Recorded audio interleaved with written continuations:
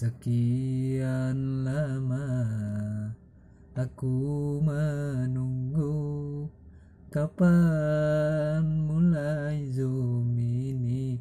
Kapankah?